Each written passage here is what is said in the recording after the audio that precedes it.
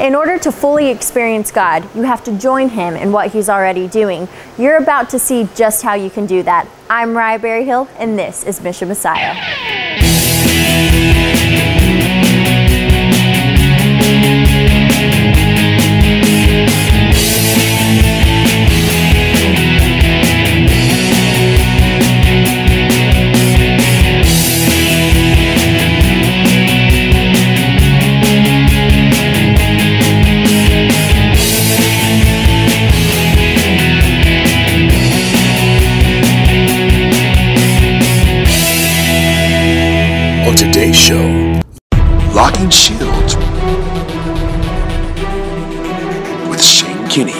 First Priority Youth Movement, Tammy and Dana, and more. fixed upon him, we understand that he is worthy to be praised.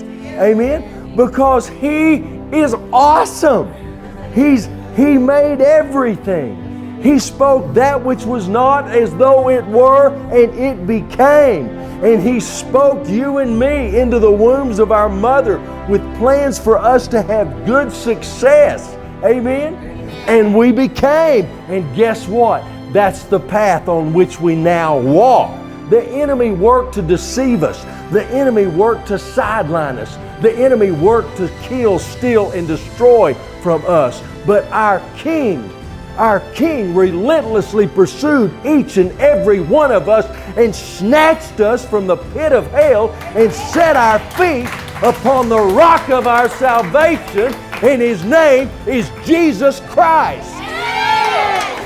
Amen. I mean, what else is there? Amen. He is our all in all. He's every He's our very life. He's our very breath. Except He give you and me our next breath, we don't exist. He gives us our breath. Is He not worthy to be praised? No wonder He says if we don't praise Him, the stones will praise Him. Amen? But we choose to praise Him. Amen. We choose to enter His courts with thanksgiving. Amen. And dwell in the presence of the Lord all the days of our lives. Amen. Hallelujah. Woo! Mr. Jen, you want to close us in prayer?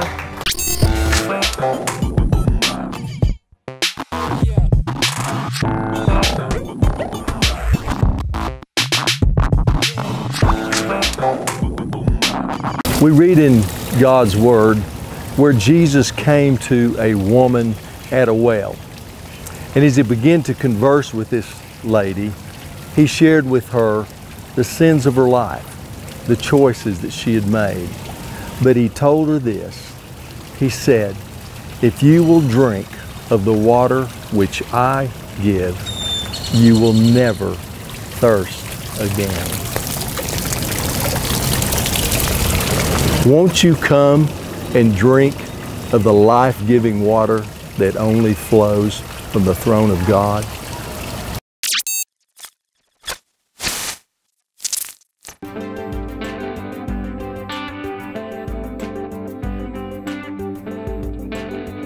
All right, so if they add some color up here and get rid of the gray, then that's what she's gonna do. She's gonna be beautiful. But you know, that would have been covered up by one of those big royal wedding hats. Well, you're you're exactly right, but I'm I'm thinking that as an everyday do is a little much. You're not gonna wear a hat? well, I don't know. I, I will if you will every day. Yeah, yeah. We've got a couple of royal weddings coming up. It is amazing that our daughters got engaged the same week. The same week. And the week of the royal wedding. The week that of same the royal week. wedding. So all we're thinking about is these girls and weddings. These girls and weddings. Two radically different personalities. They And- grew up together though. Now the fun thing is Linda just told me, who is our my stylist, she said that the royal wedding has been the talk at the salon all week long. So here we are. No doubt.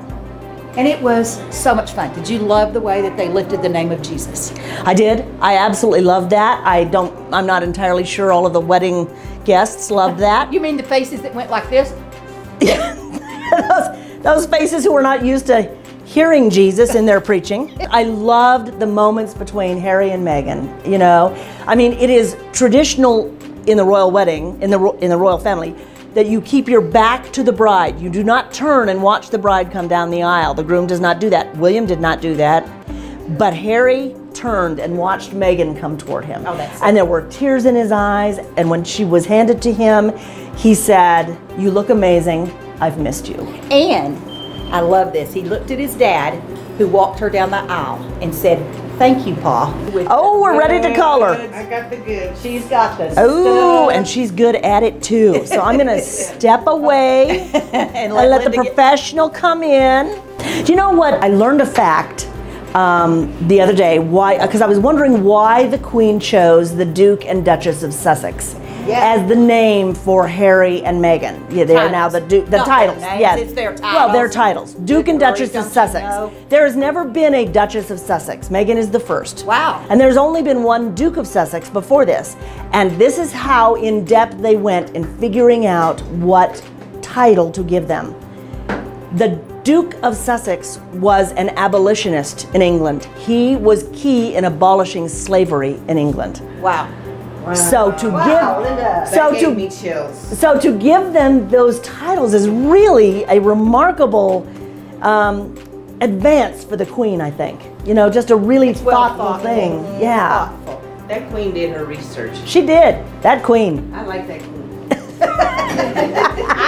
Her clothes. She was lime green and Now, do you know it. why she dresses so Yeah, brightly? I do know. Okay, she she dresses that brightly because she said people need to know they've seen the Queen. No, You can't miss her. they said I need to be, I need to be uh, bright so I can be seen. So I can be seen, so that people can say, "I saw the Queen." Yes. And boy, she is bright. She is bright. I'm having a hard time hearing because I have to take my glasses off. Yeah, she's not as good. She she can't see, she can't why, hear. The but I glasses. can't. You know, I pull those glasses off and I can't hear anymore.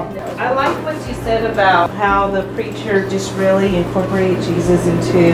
which they're not used to hearing in the Church not of used England. to hearing They that. really are not. So I think that was so important Yeah. for everyone to hear in the world, you know, and, and mean- especially at a time like this, and we need more unity, and you know, and and I like how he emphasized, you know, that. And, and they had a gospel choir sing "Stand by Me," and you know, "Stand by Me" has got to be their song. You know what I love though? Did you Isn't watch that her? Did you watch her? I wanted to help her. Oh, I know. I know. She was oh, like, Oh, she was like. mean, I loved her hair. Her Oh, she hair, looks Linda, great. her Oh my hair. goodness, her hair was. Well, you'd see the hair. Yeah, you would notice the hair. How could you miss that hair? You know, all of this talk about royalty, though, it, it makes me think about Jesus and Of course. us being the daughters of the Most High God. We are. He's the King of the. He's the King of the universe. He's the King of Kings and Lord of Lords. So if that's who we are, He is. Then the Scripture, Dana, and, and you read it because I can't. No, and it, and Linda I- made me take my. And what I love about this scripture is that it makes us realize that we are also royalty. That's right. We are also royalty. Um, but you are a chosen. This is. But you are a chosen people, a royal priesthood, a holy nation, God's special possession, that you may declare the praises of Him who called you out of darkness and into His wonderful light. Do y'all love that? we are royalty. Those of us who believe, who are in Christ, are royalty. We're royalty. We don't even have to wear the big hats, I right. right? Oh my gosh, that gave me goosebumps. And you know what? There is a royal wedding coming. We're awaiting our King of Kings and Prince of Peace, mighty God. He will return to the earth, and us, as the bride of Christ, we will attend and be a part of a royal wedding. I can't wait. I can't wait either. Me either. I can't wait to see my queen.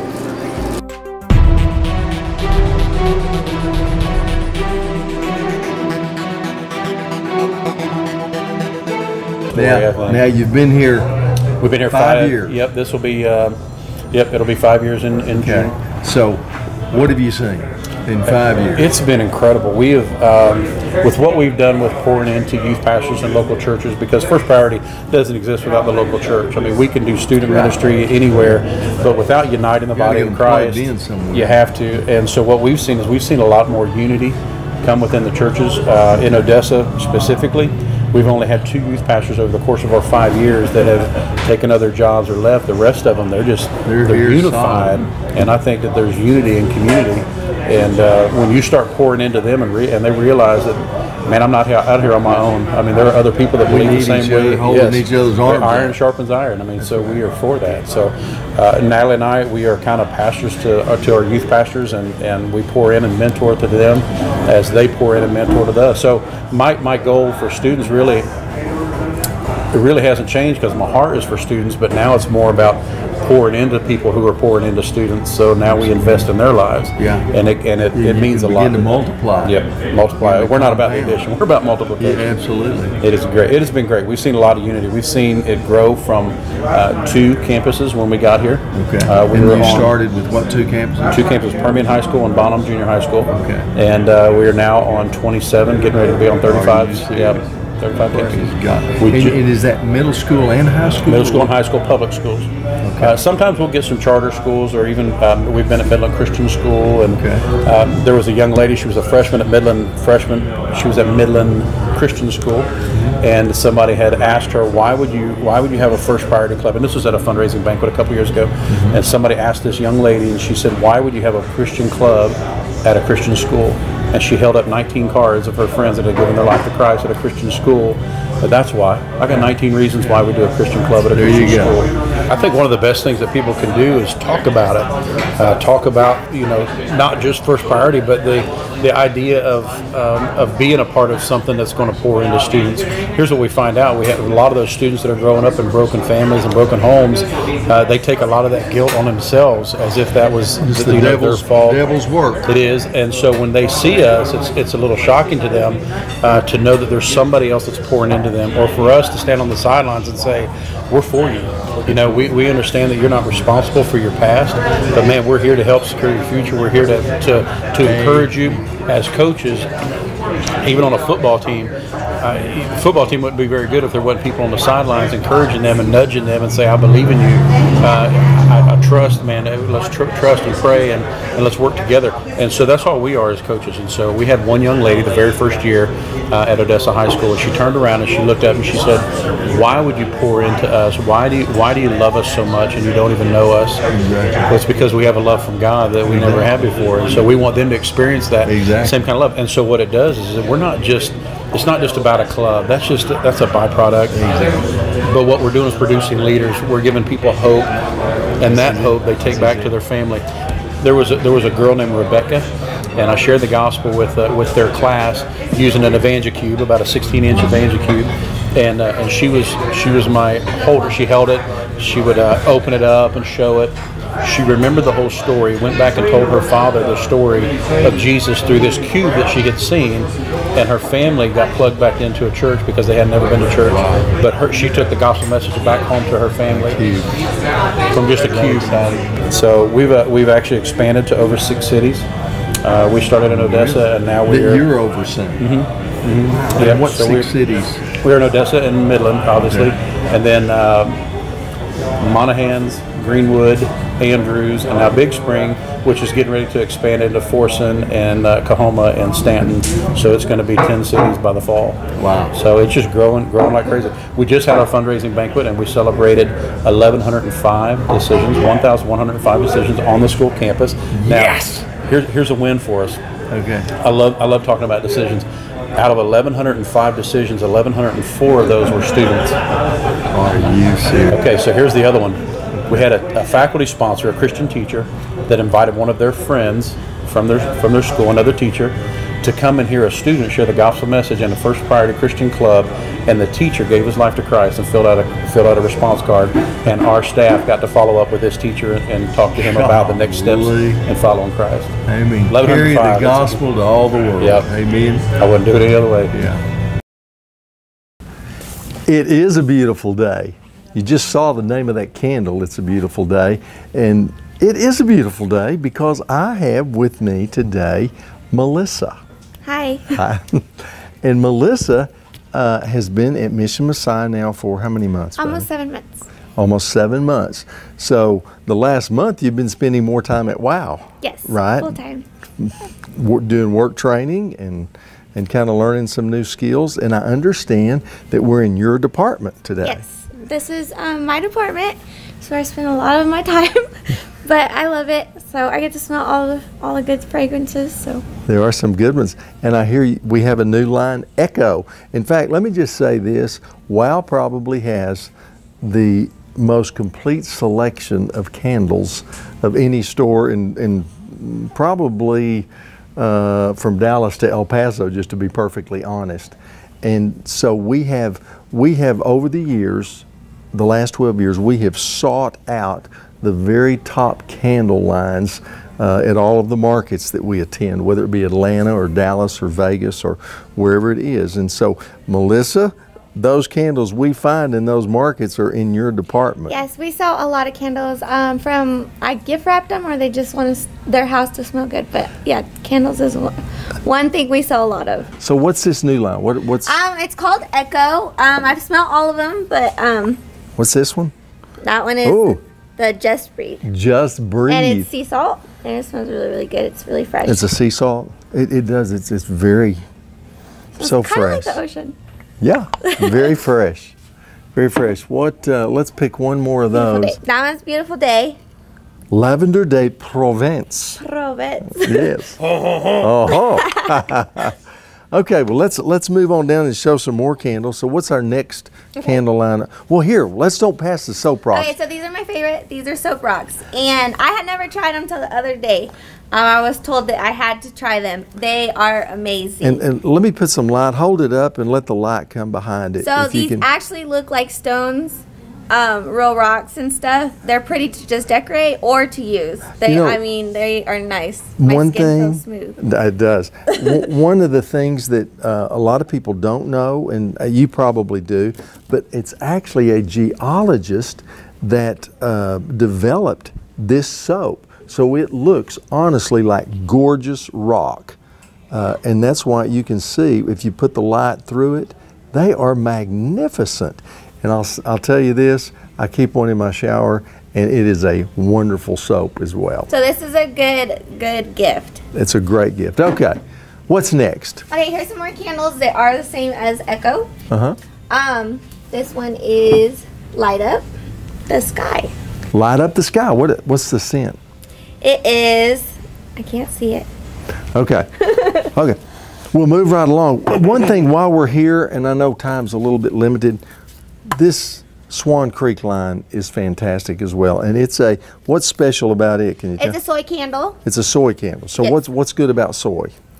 Um, They burn longer. Yes, they Uh, smell good. The- the, the, their fragrance is incredible. In Yes. fact, I love it when when we get our shipment of these in, and you can walk in the in the warehouse. oh, and it all smells.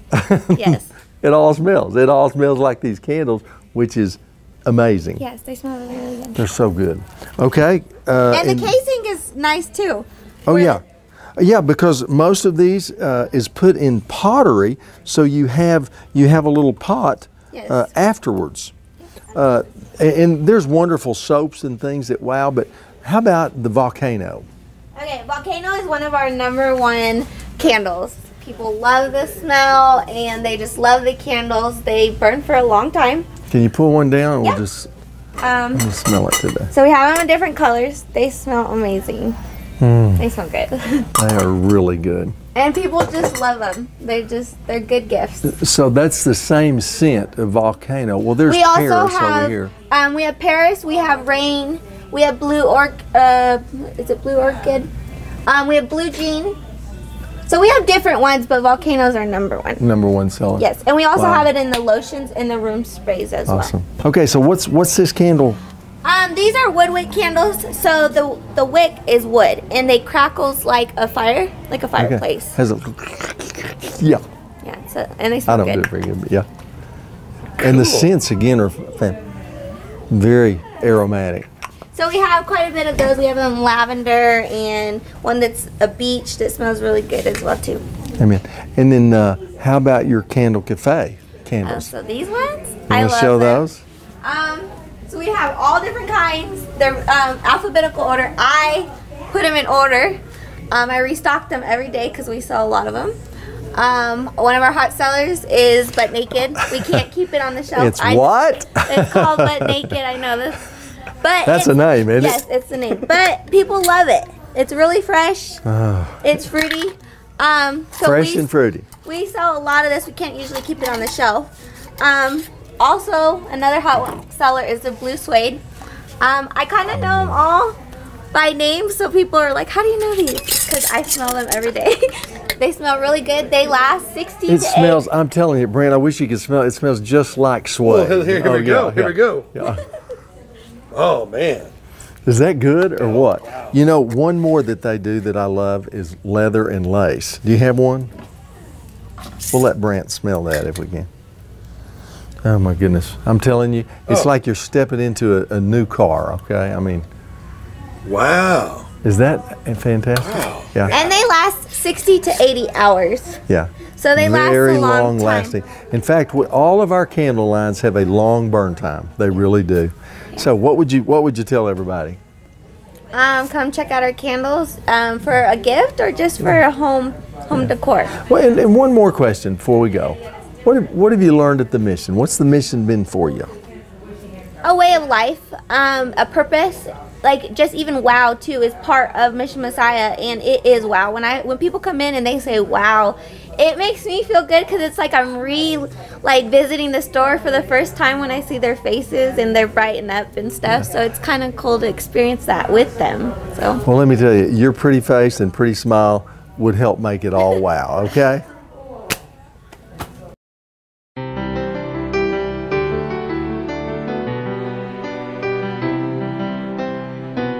Okay, we have some questions that have come in, and I really think that maybe these were inspired by our Mother's Day Mission Messiah television show where Renda uh, did a really awesome uh, clip, I thought. Did, uh, did you enjoy doing that? I did. We had You fun. really, you really Yeah. did. But I, I think that obviously we have some questions in today that are relative to kids. This first one is in from Marilyn uh, over in Frisco. And she's asking, What do you do when your three year old will not mind you? That's hard. Go, Mom. That's hard. um, my first question, if I got to sit down with Marilyn personally, um, is to ask her how much time are you spending with your three-year-old? Is your three-year-old actually talking back to you because what they really want is to spend more time with you? Um, Wow. Did you hear that? Please, please listen, moms. And, you know, do they see you on your phone more than they see your face? Do they hear you talking to them? And the second thing is, are you talking to them and not at them? I would make really So, elaborate for us a little bit. To them or at them? uh, the difference between a shotgun and a rifle Okay? Yeah. Okay. in communicating. Okay. um, speaking directly to them on their level, you know, and actually maybe getting Get down, down on their Mhm. level. Not getting down to their level necessarily in communication, but on literally on their literally on the physi- physical on their physical level Yeah. and make sure. So you're not towering like so. yeah. Gotcha. And, um, And and what are you trying to establish right there? I remember something we always did with our kids. eye contact. Good eye contact. You have to have eye contact. Yeah.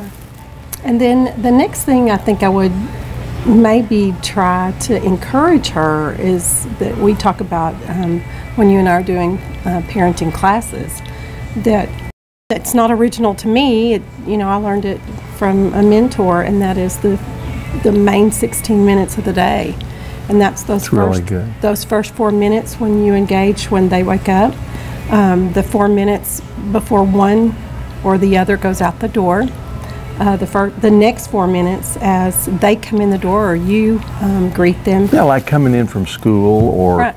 yeah. and then um, the last four minutes before they go to bed. And um, I think the closer the contact at bedtime, The better. The greater the impact at, at any of those 16 minutes. but you know, Well, you want them you want 'em sleeping on those last few minutes that they had with you. And, and honestly, one of the things that we endeavored to do was take that last four minutes to help direct their little minds to the Lord and the things of the Lord and the security that we have in the Lord. after we heard what was on their heart. Oh, absolutely. Yeah, so I think sure. that's very important at bedtime to make sure that you hear about their day and what's on their heart. And once again, um, listening to their heart and not just talking. Well, and I really do. Renda said something a moment ago as far as uh, parent, are you on your phone instead of with your child? And I, I heard about a survey just this week that, that That's hurt, one. that honestly hurt my heart. And these were little uh, four or five year old children in pre K and kindergarten. And they were asked the question if there was an invention you wish had never been invented, what would that be? And would you believe that 25% of those children said the telephone? And they were asked why, and they said, because my mommy and daddy are always on the phone. yeah. Kind of hits, I hope that hits all of our hearts. I think sometimes we need to think back on when we got cell phones and what we do now compared to what we did then. And Well, television was bad enough. There was an era when everybody was glued to the television, and many still are. but that fact, is that is the television. But it's the same thing. Yeah, it's personal today's television. television. And so, but it, because it's a personal television, you can carry it in your pocket or in your purse. It's with you all the time and every spare minute. If you're not careful, this is what you're glo- glued to, and you're wanting uh, the babies to be quiet because you are listening or watching something. So, anyway, the Lord bless you, and uh, we'll be praying for that three year old. Amen. Brant, I want to introduce you in this mission moment to one of our sweetest ladies that's just arrived at WOW this week to start kind of the work training period half day. Yes. So, uh, what's your first week been like, Miss It's great. Elizabeth? It's really great. I Really? love working here at the store. What uh, What have you kind of been doing this first Um, week? cleaning, just cleaning, lot clean of and iron. Yes. Yeah. Polishing, doing bathrooms. Yeah. yeah. Well, you already had a little cleaning in your blood and heart, though, yes. didn't you? Yes, I love cleaning. She loves cleaning. So if you think we weren't excited to add Elizabeth to uh, the group that was training down at WOW, you, you missed it because we're really grateful. In fact, she is actually detailing out this little uh, landscape piece that we have right now. Just, you know, it's just kind of a decor piece to show this cool looking tree bench right here at WOW. But uh, how long have you actually been at the mission now? It's three months. Three yeah. months. So I'm in my bronze phase. I just Okay. actually started my new book. Okay. Uh, now, um, you had not completed when we did the awards a couple weeks ago. but we just barely completed. But, the next time you'll be up to start receiving those awards as Yes. well. Yeah. So, what do you? Uh, what's kind of going on with your family right now? Is oh there man, some I'm so excited. Yes, tomorrow we're gonna be picking up my daughters, and I'm gonna have them for a week. So I'm really excited about that. yes. And so, where where will we be taking you for that? in Plainview, we're gonna go get them. Going up to Plainview. Yep. So, I'm and we'll excited. get yeah, and they'll be with you for a week. For a whole week. And y'all will get to love on each Oh, other and hug and all that good Yes, stuff. Thank you so much, Mr. Jamie. Yeah. I appreciate it. Well, we're excited for you. Thank you. Bless you.